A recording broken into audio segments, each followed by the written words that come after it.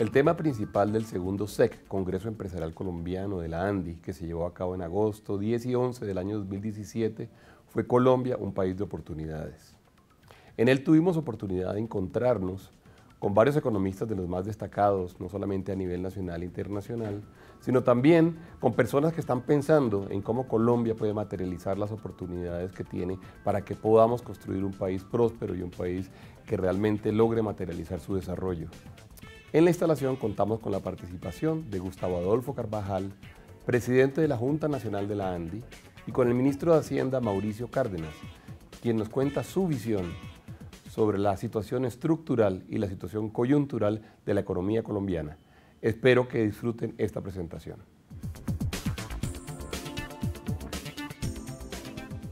Mauricio Cárdenas Santamaría, ministro de Hacienda y Crédito Público, Luke McMaster, presidente general de la ANDI, Sergio Landoño, alcalde encargado de Cartagena, Federico Gutiérrez, alcalde de Medellín, Xavier Salay Martín, economista conferencista invitado, Benjamin Ramsey, Juan Lorenzo Maldonado y Alberto Bernal, economistas conferencistas, Marta Lucía Ramírez, precandidata, Pablo Felipe Robledo, superintendente de Industria y Comercio, Luis Fernando Castro, presidente de Bancoldex, Santiago Rojas, director de la DIAN, funcionarios del Gobierno Nacional y local, miembros de la Junta de Dirección General de la ANDI, empresarios afiliados a la ANDIS, dirigentes empresariales de otros gremios. Bienvenidos todos al segundo Congreso Empresarial Colombiano y a la Asamblea número 73 de la ANDI. Durante todos estos años, nuestra asociación ha venido contribuyendo al desarrollo del empresariado colombiano, proponiendo alternativas y oportunidades ante los retos que el mundo moderno plantea en materia económica y de desarrollo sostenible para nuestros negocios. De ahí, y dada la actual coyuntura, es nuestro deber individual y colectivo asumir más que nunca el reto de trabajar por un país que respire el ambiente de confianza necesario para garantizar nuestro desarrollo y nuestro futuro. Nuestra gremiación se convierte en la herramienta propicia para apoyarnos a dinamizar el proceso de seguir fortaleciendo el tejido empresarial colombiano como ese motor de desarrollo económico y social que el país necesita para preservar el sano sistema de libre empresa. No cabe duda que la mayor obligación de nuestra sociedad es crear oportunidades para crecer socialmente, creando valor para todas las partes interesadas y contribuyendo a dar respuesta a sus grandes desafíos, entre ellos la pobreza, el cambio climático, el agotamiento de los recursos naturales, la diversidad, los cambios demográficos, la seguridad y la salud. Vivimos en un mundo cada vez más interdependiente, a tal punto que no es posible pensar en la existencia de un país completamente autónomo económicamente, por más grande e industrializado que éste sea. Tampoco basta ya con explotar solamente sus ventajas comparativas, pues junto con ellas se hace estrictamente necesario crear todas las condiciones para que los miembros de la sociedad tengan la capacidad de adquirir en cualquier parte los bienes y servicios que requieran para el normal desarrollo de sus actividades. Esta labor se logra únicamente con el buen accionar de las empresas mediante la generación de empleo productivo y de calidad, garantizando a la sociedad su futuro desarrollo, contribuyendo de esta manera en la reducción de las condiciones de inequidad que caracterizan a nuestra región. El reto de trabajar por un país que propenda por contar con un ambiente de confianza más propicio para la inversión implica ponernos, repito, individual y colectivamente, unas metas ambiciosas de creación de riqueza, de mejoramiento cultural e industrial, de participación en los mercados mundiales que efectivamente nos lleven a obtener resultados al menos similares a los de otros países que llevan ya tiempo recorriendo este camino. Es imprescindible que desde nuestras empresas comprendamos clara y verdaderamente los desafíos que nos está planteando el mundo de hoy, para encontrar oportunidades de negocios que nos permitan darles una apropiada respuesta a través de nuevas estrategias en contextos de largo plazo, con rentabilidad sostenible y soportada por un desempeño positivo en los ámbitos social, medioambiental y laboral. Podemos decir que la mayor contribución que la empresa puede aportar a la sociedad siempre llegará a través de su propia actividad de negocio. Y es por esto que debemos trabajar para contar con un país de oportunidades mediante la creación de un marco de desarrollo estable y confiable que nos permita producir y competir con las industrias de otros países por los mercados de mayor poder de compra. Es difícil que lo anterior pueda suceder con cambios de gobierno cada cuatro años, a menos que de verdad haya una conciencia general en el país y un propósito común que haga que a largo plazo se mantenga la plataforma económica establecida y pueda transcurrir el tiempo necesario para que el país se industrialice vigorosamente, cree los empleos que requerimos y pueda competir con éxito en los mercados internacionales.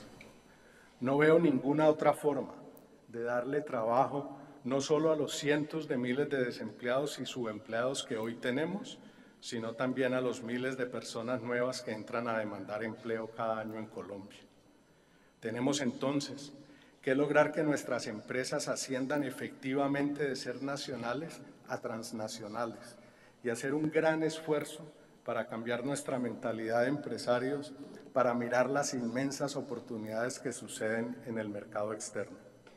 Debemos aprender a vivir entre dos mundos al mismo tiempo, el de la economía mundial con la moneda transnacional y el de nuestro país, en el cual el dinero está cada vez más al servicio de las políticas de corto plazo. Nadie desconoce que es más fácil moverse dentro de condiciones propias, que cada uno puede manejar con mayor facilidad y a menor riesgo. Pero creo, sin embargo, firmemente que si no optamos por políticas mucho más audaces, aunque conlleven naturalmente mayores riesgos, y salimos abiertamente a competir en los ricos mercados mundiales, no vamos a lograr las aceleradas tasas de desarrollo que el país requiere y que las gentes esperan que su clase dirigente y empresarial sea capaz de suministrar. La clase empresarial colombiana tiene a favor que hoy cuenta, a pesar de los recientes acontecimientos de corrupción tan publicitados en todos los medios, con una de las imágenes más altas en el contexto nacional solamente superada por las fuerzas militares, las Naciones Unidas y la Iglesia, según un reporte de Gallup del junio del 2017. Aunque la imagen es una consecuencia y no un hecho en sí mismo, se refleja en la opinión que las gentes tienen de cómo ellas reciben, visualizan, sienten o creen sentirse afectadas por el comportamiento de quienes están produciendo determinadas acciones. De ahí que sean los pueblos cada día más exigentes con su clase dirigente. Pero el problema que estamos enfrentando no es un asunto de imagen buena o regular. Creo que este tema nos lleva a algo más profundo y sustancial. Se trata de analizar el sistema socioeconómico del país. Nuestro sistema, en caso de que las empresas no cumplan con su función social, no tendría vigencia y habría que buscar otras soluciones que aporten mejores resultados. Y solo lograremos que las empresas produzcan los resultados que de ellas se requieren y que sean debidamente aceptadas si cumplen con las obligaciones que tienen contraídas con la sociedad. En este caso, recibirán el respaldo de la comunidad que se convertiría en su defensor en las distintas vicisitudes que se presenten en el transcurso del tiempo. Mientras los empresarios no logremos ofrecer suficiente generación de empleo para que se nivele la oferta y la demanda en el mercado de trabajo, habrá siempre una tendencia hacia bajos salarios y ni siquiera la presión de las centrales obreras podrá, exceptuando pocos casos, compensarlos. Al mismo tiempo, mientras en Colombia ambas condiciones, la oferta de trabajo y el nivel de remuneración, no se incrementen sustancialmente, será muy difícil mejorar la imagen de las empresas y casi imposible cumplir con la responsabilidad social que las gentes esperan de ellas. No es posible pensar en que asuntos como el alto nivel de desempleo y subempleo, los bajos ingresos, la falta de incorporación a la actividad nacional de una inmensa parte de la población, la mala nutrición y la falta de educación o de oportunidades, no sean factores que no afectan profundamente a las gentes o que no es nuestra directa responsabilidad remediar. Los empresarios deberíamos dedicar todos nuestros esfuerzos a buscar la manera de crear un clima que produjera una agresiva creación de riqueza y de empleo. Y por qué no decirlo, un alto poder adquisitivo para la inmensa mayoría de la población. No será posible entonces, si todos nos los proponemos como alta prioridad, convencer al sector político de que sólo así podrá subsistir un sistema en el que además están personalmente comprometidos y convenir con ellos las medidas que deban tomarse.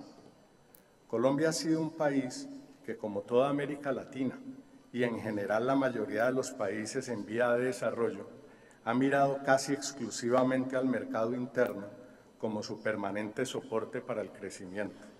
Sin embargo, es importante aprender de las experiencias de aquellos países que a pesar de no tener recursos naturales y aún teniendo una pobre infraestructura económica interna, se han lanzado a producir para el mercado mundial, logrando desarrollos acelerados y como consecuencia la creación de su propio mercado interno.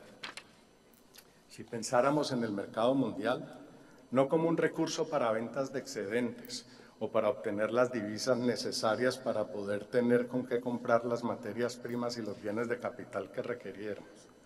Y lo viéramos, en cambio, como un gigantesco mercado de altísimo poder de compra, incomparable en tamaño con el nuestro, y miráramos en él la más bella de las oportunidades para nuestras actuales empresas y para crear muchas más, estaríamos dedicados como empresarios a convencer de ello al sector público para impulsar juntos las condiciones necesarias que nos permitieran producir competitivamente para el mercado internacional.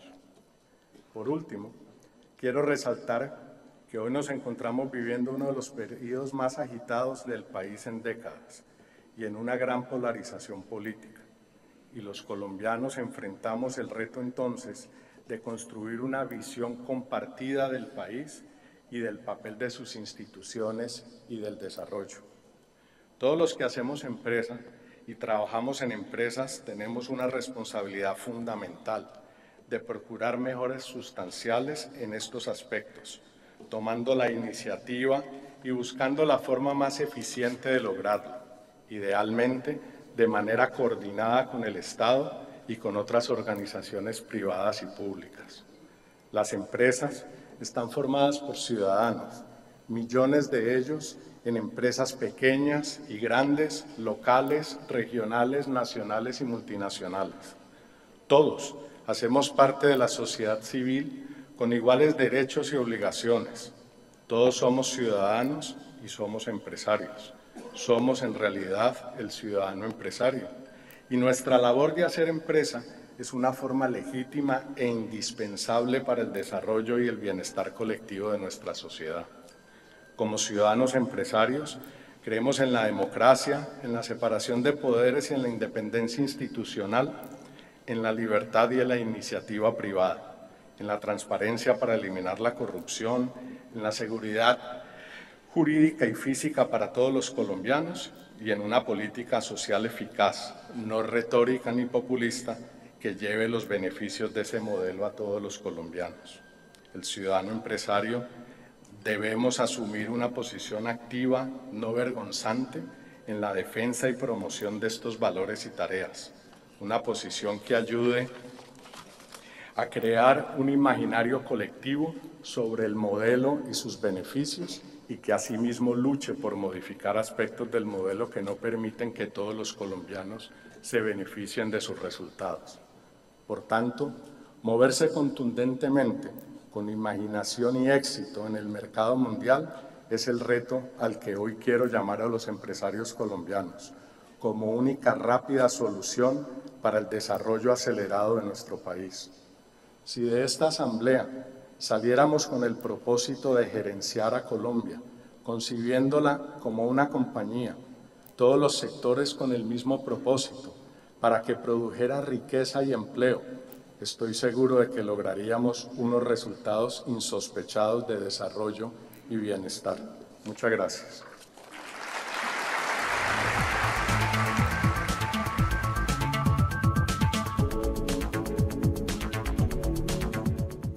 Bueno, muy buenos días a todos. Cordial saludo al doctor Gustavo Adolfo Carvajal, presidente de la Junta Directiva, al doctor Bruce McMaster, a los señores alcaldes que nos están acompañando, a los compañeros de gobierno, a los precandidatos presidenciales, a ustedes, apreciados empresarios del país. Saludar a Nana, a sus hijas. Qué bueno que usted haya traído a su familia, Bruce, porque lo pone uno a pensar que uno de los grandes retos que uno tiene es ser buen papá. Aquí nos preocupamos mucho por dejar un mejor país para nuestros hijos, pero también tenemos que dedicarle mucho tiempo a dejar unos mejores hijos para el país. Y eso me hace pensar que educar a los hijos es un poco también como manejar y tener los retos de la economía. Uno tiene que buscar un equilibrio entre destacar todo lo que se ha hecho, aplaudir los esfuerzos cuando llegan los hijos, dicen que den el 10% mejor de la clase, uno tiene que aplaudir, pero también tiene que decir yo sé que tú puedes más y yo sé que te puedes eh, esforzar y, conquistar cumbres más altas. Ese, ese fino equilibrio es el equilibrio por donde nosotros tenemos que transitar todos los días, entre decir, tenemos un país que ha avanzado mucho, tenemos un país que ha logrado mucho, pero también tenemos un país con grandes retos. Lo que hemos logrado nos debe servir no tanto para la complacencia, nos debe sentir para llenarnos de fuerza, coger impulso para resolver los retos que tenemos hacia adelante. Ese, ese es el equilibrio que debemos tratar de lograr. Entonces es una especie como de optimismo razonable, optimismo responsable, un optimismo aterrizado, que no nos impida ver que hay mucho por hacer. Y ese es el trabajo de un ministro de Hacienda todos los días buscar ese, equilibrio. Para lograr eso es indispensable tener la retroalimentación del sector privado, de los analistas, y tener la crítica. La crítica es fundamental. Eso tonifica, nos mantiene todo el día atentos. Y la crítica siempre es bienvenida. Y lo digo en un sentido amplio, en un sentido abierto, para ir uno acertando en las decisiones que va tomando. Hace un año en este mismo escenario, les hablaba de cómo teníamos que diseñar una estrategia para construir esa nueva economía. No voy a repetir esa presentación. Construir una nueva economía más resistente, más diversificada en lo sectorial, más diversificada también en lo regional. Una economía que nos permita, digamos, tener un, crecimiento hacia adelante más predecible menos dependiente de fluctuaciones que no controlamos, como pasa con los precios de los commodities. Esa nueva economía, decíamos hace un año, está edificada sobre tres grandes, digamos, ejes, tres grandes estrategias. Primero, una en la que creo que tenemos un gran consenso en Colombia, afortunadamente, ojalá que el debate electoral que comienza no cuestione esas bases, son fundamentales y nos han dado mucho progreso a lo largo de los años, que es la estabilidad macroeconómica. Tenemos mucha claridad de la importancia de esa estabilidad macroeconómica. Sin ella, realmente eh, crecer de manera sostenida es imposible. Esa estabilidad macroeconómica depende de lo fiscal, de lo monetario, es decir, de la inflación, también de la estabilidad del sistema financiero. Yo tomo eso como algo dado. Decía que en este gobierno hemos definido tres grandes ejes para organizar la gestión pública, la paz, la equidad y la educación. Y hablábamos hace un año de la importancia de tres habilitadores que nos van a facilitar ese crecimiento, que son la reforma tributaria y en ese momento esbozábamos algunas ideas de lo que debería ser esa reforma tributaria, que afortunadamente concluimos con éxito en el mes de diciembre, las PDPs, que es esa sigla difícil de las políticas de desarrollo productivo, la estrategia empresarial de la que hablaba Bruce hace un momento, unas, unas políticas de desarrollo productivo y finalmente las APPs como una forma de resumir las necesidades que tenemos para la construcción de infraestructura, no solo de transporte, sino también infraestructura educativa o infraestructura carcelaria, por ejemplo. Esta es la estrategia 3x3 para construir esa nueva economía. Voy a hablar rápidamente de algunos avances que hemos tenido en la parte de la estabilidad macroeconómica, porque hace un año teníamos tres problemas de inestabilidad macroeconómica. Teníamos inflación muy alta, estábamos en el momento peor en materia de inflación, un déficit externo muy alto y, por supuesto, teníamos también el reto fiscal. Entonces voy a hablar rápidamente de esto. Hoy podemos decir con tranquilidad la inflación está controlada y eso vale oro en una economía. Hace un año con esa inflación cercana al 9% teníamos un serio problema. Podríamos decir causado por el niño, causado por el paro camionero, causado por la misma devaluación. Pero afortunadamente hoy la inflación está dentro del rango meta. Eso da muchos grados de libertad para la política económica. Y no solo eso, sino que las expectativas de inflación que al final del día es lo más importante, también están ancladas dentro del rango meta. Eso es lo que ha permitido que bajen las tasas de interés. Y eso es fundamental, porque vamos a ver más adelante que tenemos un problema de consumo. Y para resolver ese problema de consumo, una de las herramientas es la reducción de tasas de interés. Ahora, la ANDI y muchos otros han advertido, nosotros también, que esa disminución de tasas de interés del Banco de la República se ha traducido muy rápida y eficientemente en una reducción de tasas de interés de los créditos comerciales, es decir, los créditos empresariales. Podríamos decir que han bajado al mismo ritmo que las tasas del Banco de la República, cosa que no ha ocurrido con los créditos al consumidor. Por ejemplo, las tasas de las tarjetas de crédito o los mismos créditos de consumo o las tasas por ejemplo, hipotecarias, aunque han bajado un poco, no tanto como han bajado las tasas del Banco de la República. Aquí hay una tarea pendiente. Hay una tarea que realmente tenemos que resolver para poder asegurar que la reducción de tasas estimula el consumo y, por lo tanto, reactiva sectores muy importantes de la economía como la industria y el comercio. Mañana en la conversación con el presidente de la República hablaremos sobre la tasa de usura. Nosotros recibimos todas estas inquietudes, todas estas propuestas, las debatimos, las dialogamos con los sectores. Aquí hay posiciones encontradas entre los diferentes gremios, pero esta noche el superintendente financiero me debe entregar el memorando que le pedí para los pros y contras de las modificaciones a la forma como se calcula la tasa de usura. A ver si logramos de alguna manera producir ese efecto de reducir las tasas de interés que pagan los hogares. La estabilidad financiera. Los índices de cartera vencida siguen siendo bajos. Como ustedes ven, son muy inferiores a los que tuvimos en la crisis financiera de, los, finales de los años 90.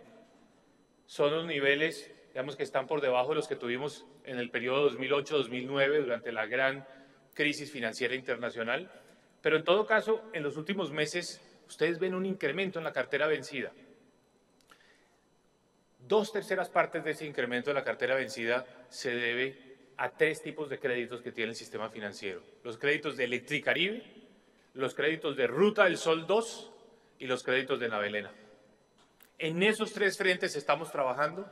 También vamos a conversar mañana para mostrar cómo se puede resolver ese problema del incremento de la cartera vencida asociada a esos tres proyectos, a esos tres casos y algo realmente positivo. De esas cosas que uno dice, esto nos debe servir para eh, tener confianza. Un problema serio que se nos generó cuando se desplomaron los precios del petróleo, que se nos amplió el déficit externo, el déficit de la cuenta corriente, y llegó a 6.4% del PIB, un, un nivel muy alto para uno asegurar la financiación y para poderlo digamos, sostener hacia adelante, un déficit insostenible. Hace un año pensábamos que se iba a corregir de acuerdo a la línea roja, es decir, lenta y gradualmente. Se ha corregido más rápidamente. un reflejo que tiene la desaceleración de la economía, la caída de las importaciones, es precisamente que se ajustó de manera más rápida el déficit externo. Este año esperamos nosotros un déficit de 3.8% del PIB. El Banco de la República cree que va a ser incluso un poco menor, pero lo cierto es que ya estamos entrando en el rango de déficit externo que es totalmente financiable, que es sostenible, es decir, que nos, nos, nos da tranquilidad. Ese es un ajuste muy importante después de la caída de las exportaciones. Caída de las exportaciones, por cierto, que es importante siempre recordarlo, del 50%. Colombia era un país que exportaba 60 mil millones de dólares y de repente pasó a ser un país de 30 mil millones de dólares de exportaciones. Eso solo nos había pasado durante la guerra de los mil días, a finales del siglo XIX, durante la Gran Depresión de los años 30 y ahora en este episodio. En las dos ocasiones adicionales, la economía tuvo una seria crisis, una fuerte recesión, cosa que no ocurrió esta vez. Muy bien, eso con respecto a los temas de estabilidad macro. Hablo un poco del estatuto tributario. Hace un año era una idea, había unas propuestas sobre la mesa, había, por supuesto, mucha incertidumbre en el país acerca de qué iba a ocurrir con la reforma tributaria. Hoy es una realidad y les quiero hablar brevemente sobre ese tema. En primer lugar, ustedes lo habrán notado en el flujo de caja de las empresas. Este año, en comparación con el año pasado, los impuestos han caído contrario a lo que se dice, contrario, digamos, a, lo que es la opinión generalizada en el ambiente, han caído. Por ejemplo, el año pasado las empresas pagaron 4.1 billones de pesos de impuesto a la riqueza. Este año están pagando 1.6 billones de pesos. Esa es una reducción de 2 billones y medio directo en el flujo de caja de las empresas. En segundo lugar, reemplazamos la sobretasa del CREE, que el año pasado fue del 6%, y la convertimos en sobretasa de renta. Al ser sobretasa de renta, todas las empresas que tenían contratos de estabilidad jurídica no pagan la sobretasa de renta. Eso ha significado un ahorro de 300 mil millones de pesos. Y no hablar de lo que hubiera pasado si no se hubiera hecho la reforma tributaria. Esa sobretasa de renta, que es del 6%, habría sido del 8%. Eso es lo que estaba previsto en el Estatuto Tributario. Afortunadamente eso no ocurrió la sobretasa se mantuvo en el 6% y al ser de renta benefició a quienes tenían contratos de estabilidad. Y para el año entrante se acaba el impuesto a la riqueza, es decir, eso es un ahorro de 1.6 billones y hay dos puntos menos de sobretasa, es decir, 2 billones menos, es decir, el año entrante un ahorro de 3.6 billones. Lo voy a mostrar de otra forma. Yo sé que hay muchos impuestos distintos de los impuestos directos del gobierno nacional. Están los impuestos territoriales, el ICA, los impuestos prediales, pero hablemos solamente de los impuestos directos nacionales. En el año 2010, una empresa prototipo, es difícil construir una empresa que sea, digamos, donde todo el mundo se pueda leer ahí, pero hablemos de una empresa que tiene un patrimonio de 15 mil millones de pesos y tiene unas utilidades de mil millones de pesos y que además emplea 90 personas ganando en promedio cada una dos salarios mínimos. Esa empresa, esa empresa prototipo, en el año 2010 pagó por mil millones de pesos de utilidad, 330 millones de pesos de renta, más cree, 180 millones de pesos de impuesto a patrimonio en ese momento y 218 millones de pesos de contribuciones o aportes para fiscales aportes a Caja, perdón, aportes al ICBF, al SENA y a la salud. Un total de 728 millones de pesos. Comparémonos con el 2016. Está pagando 352 millones de pesos de renta más CRE, incluyendo la sobretasa. 115 millones de pesos de patrimonio no paga para fiscales, no paga ICBF, SENA ni aportes a la salud. Es decir, lo que fue un pago en el flujo de caja de las empresas de 728 millones de pesos en el 2010, en el 2016 fue 467. Y para este año, que se reduce el impuesto de patrimonio, es 398 millones de pesos. Y para el 2019 va a ser 361. Nosotros distribuimos este ejercicio que lo hicimos con Santiago Rojas, que está acá. Y algunos empresarios nos dijeron, no, pero usted está dejando por fuera el impuesto de los dividendos. Entonces ahí entramos en la controversia si el impuesto de los dividendos es un impuesto directo a las empresas o a las personas naturales. Pero digamos, no, no nos enredemos en esa discusión. Incluyámoslo, incluyámoslo. Entonces, aquí está el impuesto a los dividendos en un caso y es que la empresa reparte el 50% de su utilidad neta y se la entrega a un único accionista que es una persona natural.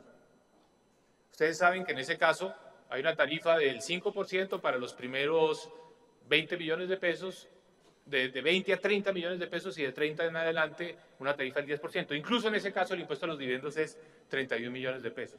En ese caso sigue bajando la contribución directa. Entonces, si alguien dice, estamos pagando más impuestos como empresas directos al gobierno nacional en comparación con el 2010, es falso. Es falso. Eso no es cierto. Y logramos una disminución en la carga. Ustedes lo deben estar notando. La semana pasada tuvimos un foro eh, con varios empresarios y varios empresarios me dijeron, sí, es cierto, el flujo de caja este año en términos del pago de impuestos tiene un alivio comparado con el año pasado. Yo voy a dar esta presentación colgada. Detrás de ese cuadro está este detalle, para los que lo quieran ver, de cómo se calculan, digamos, todos los impuestos con sus sobretasas, etc. Pero además de eso, además de haber logrado bajar la carga tributaria general del sector empresarial, porque estamos completamente convencidos que esa es la única forma de construir esta nueva economía. No, no tenemos, estamos conceptualmente jugados con ese modelo reducir la carga tributaria empresarial para poder generar más inversión y más empleo. Pero además de esto, la reforma tributaria introdujo una serie de incentivos muy importantes para estimular la inversión. El más importante de todos ellos, el que fue siempre una consigna de la ANDI todo el tiempo, nunca la ANDI dejó de hablar de la importancia que tenía reducir la carga tributaria asociada al IVA a los bienes de capital. Por primera vez se introdujo en el Estatuto Tributario la deducción del 100% del IVA pagado en los bienes de capital sobre el impuesto de renta. El 100%. Segundo, se mantuvo el beneficio tributario, es decir, la exención de renta para quienes construyan vivienda de interés social o para quienes financien los créditos BIS exentos de impuesto de renta. Lo mismo para las empresas editoriales. Eso se mantuvo.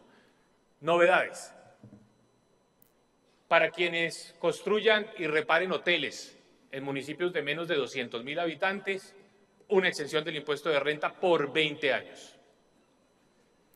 Para quienes siembren nuevas eh, plantaciones eh, forestales, 20 años. Servicios de transporte fluvial, 15 años.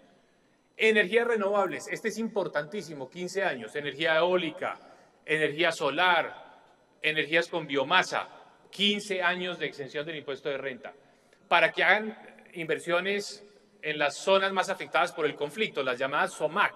Son 244 municipios en Colombia. Creación de empresas en esos municipios, tarifa reducida del impuesto de renta por 10 años. Las zonas francas, estábamos viendo en la presentación, tenían desde la reforma del 2012 las zonas francas nuevas todas un impuesto de renta del 25%, se bajó al 20%. Introdujimos algo novedoso, la inversión que hagan las empresas petroleras y mineras por encima de una línea de base, que en el caso de las petroleras es los compromisos contractuales con la NH, por encima de esos compromisos contractuales, devolución de una parte de la inversión para, para que se utilice para el pago de impuestos. Eso es un CERT. Y finalmente, los beneficios en ciencia, tecnología e innovación.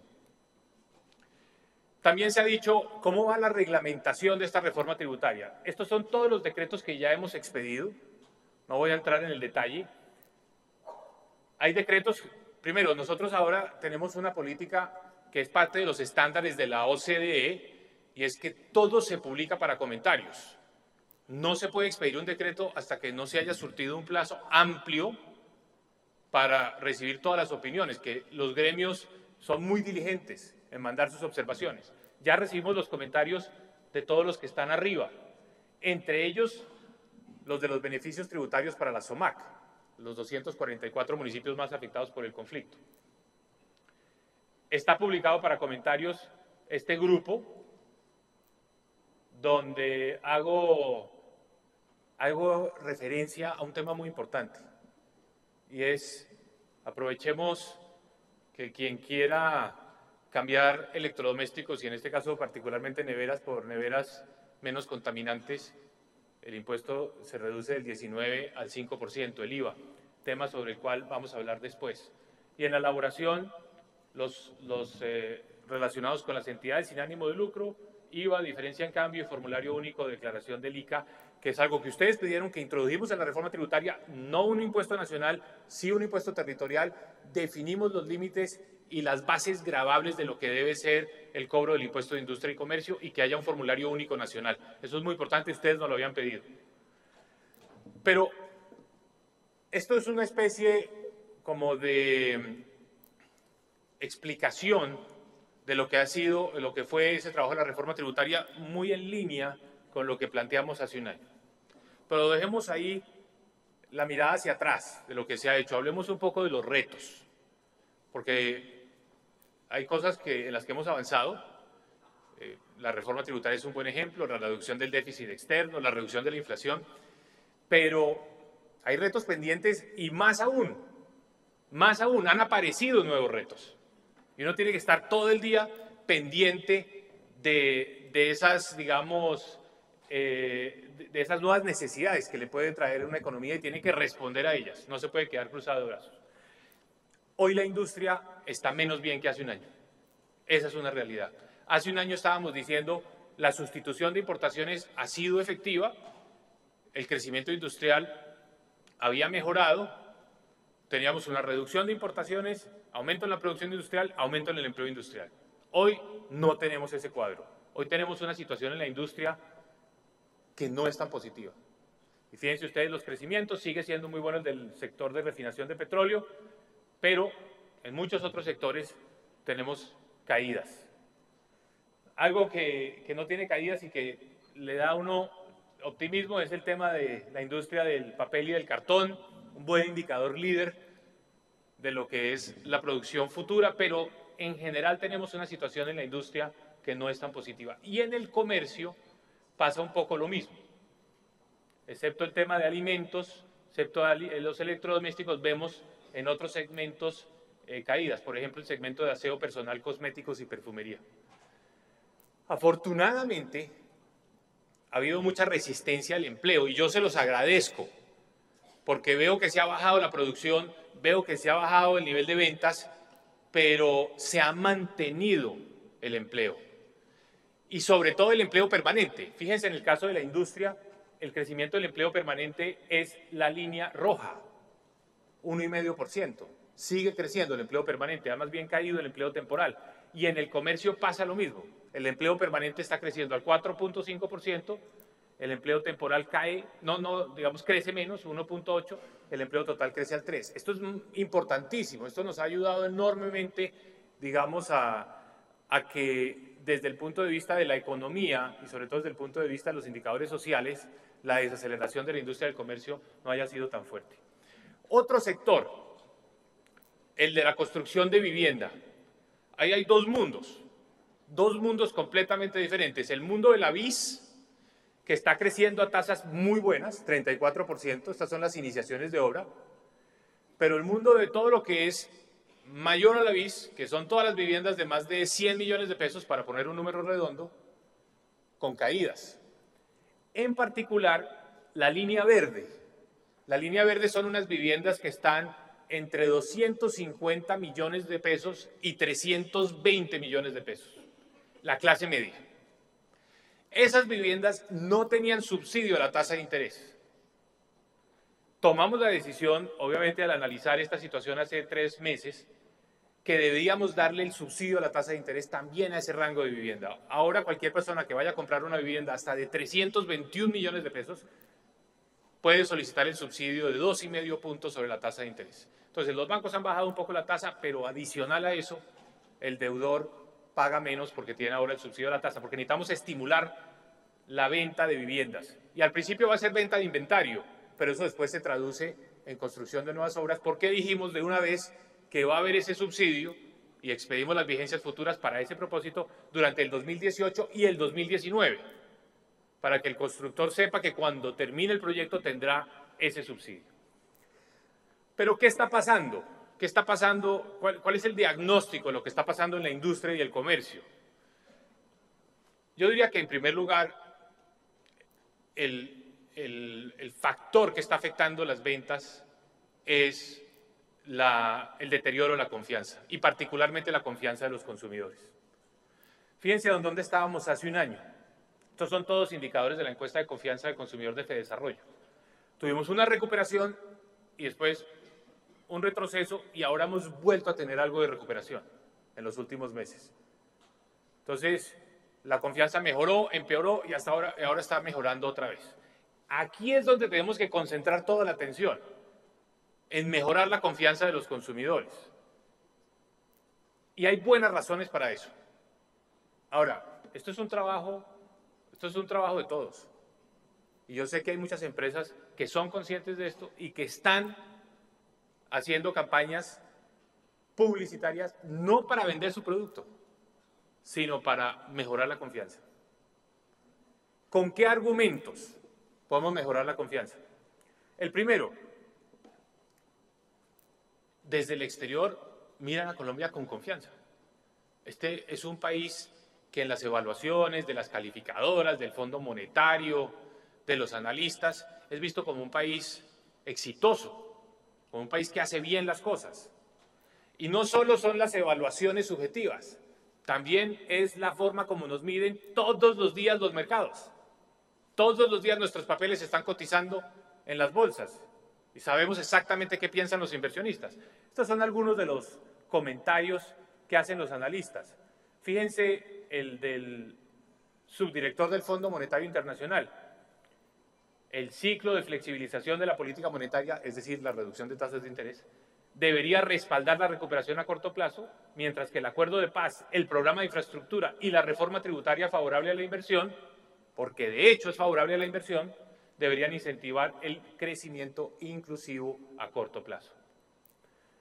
Fitch nos recuperó la estabilidad en nuestra calificación triple B. Eh, Moody's hace pocas semanas volvió la perspectiva estable para la calificación del sistema financiero, en fin. Confianza del exterior, la inversión extranjera. Está en 11 mil millones de dólares al año, mucho más alta la que tuvimos la década pasada. Se ha mantenido un nivel alto y sobre todo hay mucha más inversión extranjera directa no petrolera en este momento en el país de la que hubo históricamente o la confianza de los inversionistas que compran nuestros papeles. Hace unos años, la participación de los inversionistas extranjeros en el mercado de TES en Colombia era absolutamente marginal, no llegaba al 3%, hoy es el 26%. Esto ha significado que a Colombia le han llegado más de 20 mil millones de dólares de inversión extranjera en los últimos años para el mercado de capitales. Pero una prueba ácida, ¿a qué tasa se colocan los papeles colombianos en el mercado internacional. Estas son las tasas de los bonos a 10 años. Acabamos de hacer una emisión la semana pasada, 3.81%. Un papel a 10 años. Y fíjense ustedes, subieron en el 2015 con la caída del petróleo y hemos vuelto a tener tasas iguales a las que teníamos con el petróleo a 110 dólares. O lo pongo en otros términos, son tasas que son la mitad de las que pagábamos en el 2009. Detrás de las tasas a las que colocamos nuestros bonos en el mercado internacional hay dos componentes. La tasa del Tesoro americano, que es el papel de referencia, y el spread, el margen sobre el Tesoro americano. Miremos solo los spreads. Hoy estamos pagando 155 puntos básicos por encima del Tesoro americano. Llegamos a pagar 459. O 245 en el 2015, al momento del golpe de la caída del petróleo. Volvimos a tener unos spreads similares a los que teníamos hace tres o cuatro años. Ayer salió un dato interesante, también para darnos confianza. La firma Radar, que hace encuestas sobre consumo, sobre todo de productos masivos, muchos de ustedes las utilizan, mostró que el dato de julio refleja un crecimiento del 1.2% en el consumo privado.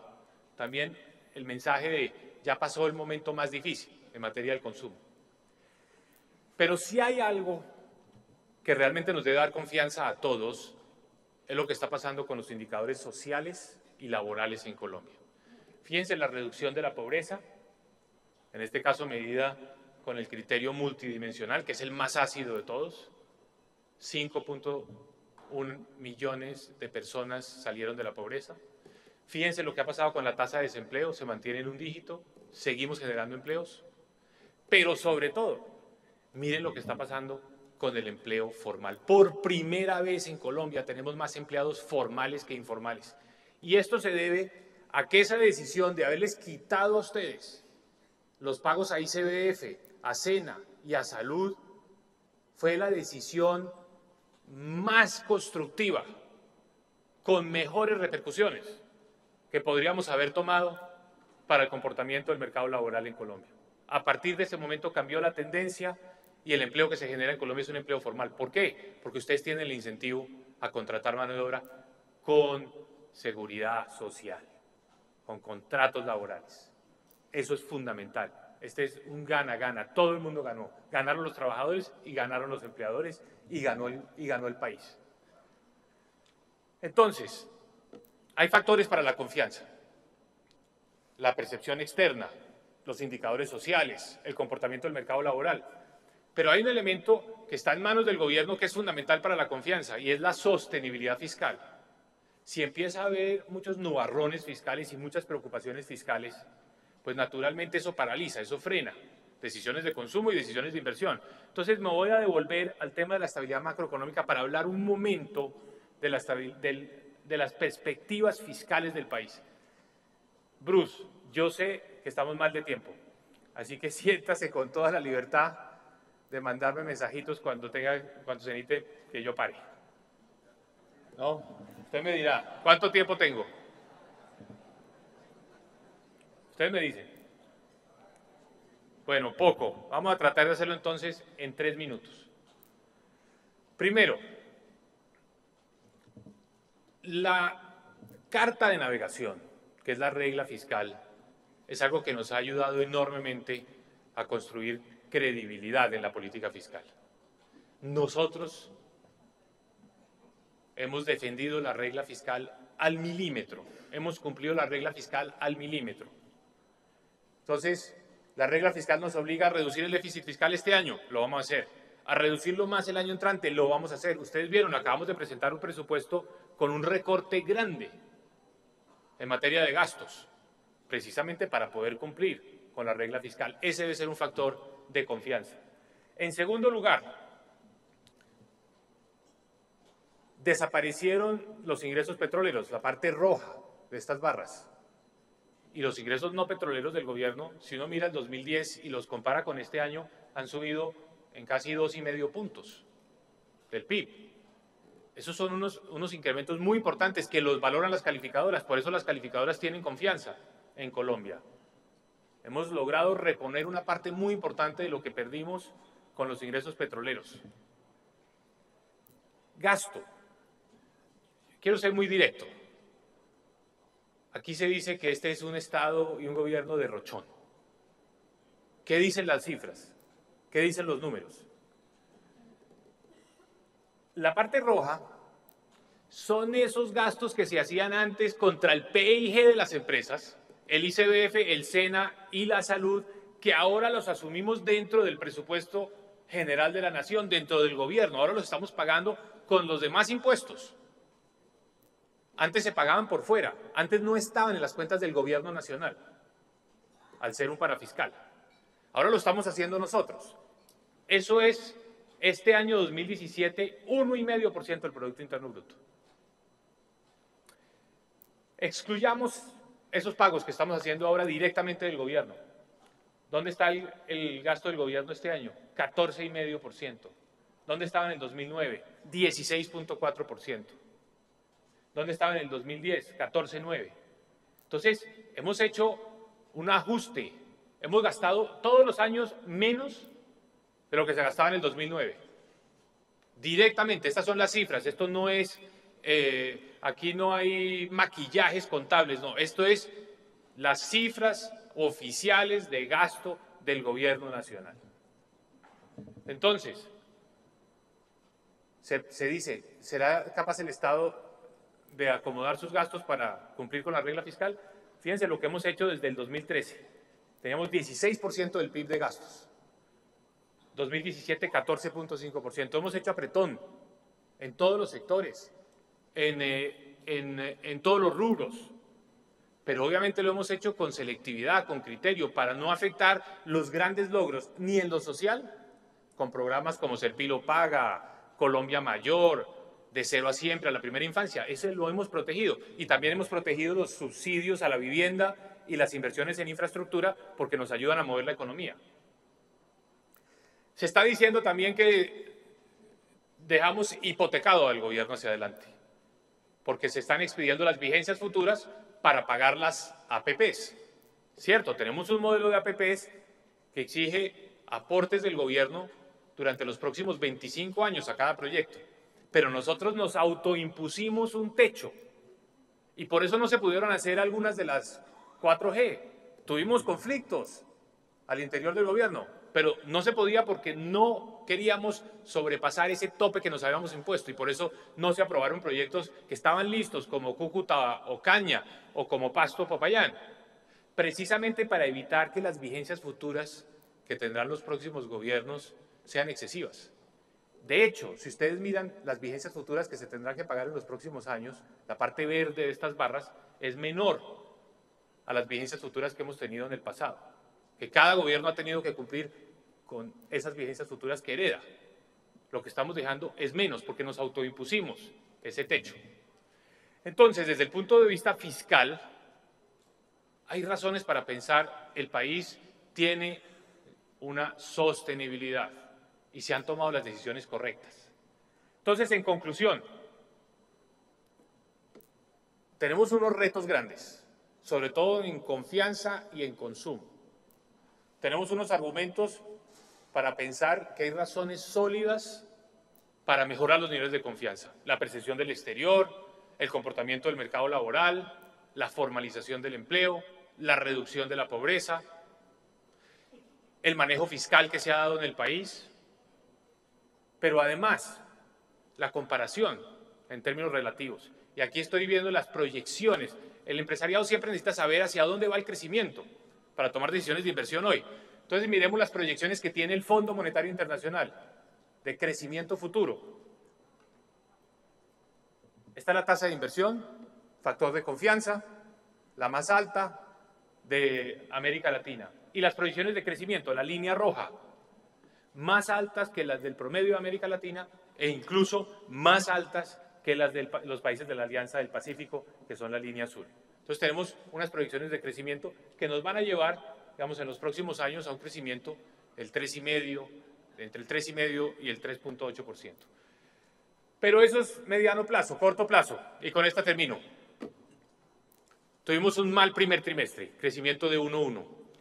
El 15 de este mes, la semana entrante, sale el dato del segundo trimestre. Lo dijo Bruce esta mañana, seguramente también va a ser un dato bajo. Aquí tenemos 1.3. ¿Cómo vamos a lograr crecer al 2% este año?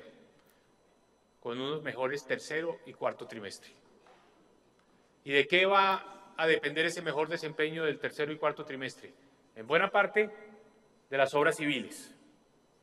Las 4G, las aulas escolares, eh, los proyectos de las regalías de obra pública, pero también de una recuperación de la producción industrial. ¿Por qué? porque estamos viendo mejorar los niveles de confianza, un pequeño repunte del consumo, eso se debe traducir en una reactivación de la producción industrial. Que terminemos el año con un crecimiento positivo en el último trimestre, eso nos va a ayudar a que el trimestre sea un crecimiento del 2.8% y el promedio del año del 2%. Ese es, esa es la coyuntura, como estamos viendo el corto plazo, pero sobre todo la perspectiva de que la economía colombiana tiene con qué seguir creciendo y con qué crecer a tasas superiores a las de América Latina y a las de la Alianza del Pacífico, y eso se debe en muy buena parte a que hemos mantenido unos excelentes niveles de inversión. Eso es lo que yo quería compartir con ustedes y estaremos de vuelta mañana con el presidente para la clausura. Muchas gracias.